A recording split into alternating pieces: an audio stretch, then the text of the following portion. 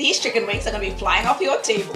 Pun intended. We've got four pounds of chicken wings, Let's add four tablespoons of oil one tablespoon of garlic powder. Let's season them up with some salt. and some freshly cracked black pepper. And our final main ingredient is baking powder. Makes a huge difference in the wings. Now very gently, let's give this all a mix. I have the oven preheated at 400 degrees Fahrenheit and I'm going to cook these for about 50 to 60 minutes. So I'm team traditional buffalo wings, and for that, we have to start out with some Frank's hot sauce. We're also gonna add some melted butter. Now just to sweeten it up, I'm gonna go in with some honey, about two tablespoons. We wanna get all the sauce, but we don't wanna take out any of that crispy coating. Toss these back on the tray, give them a light brush with the sauce, and pop them in the broiler for about two minutes. I'm team garlic parm. So we're going to go in with half a cup of ranch dressing, half a teaspoon of garlic powder here, a dash of dried parsley, and my favorite, the Parmesan cheese.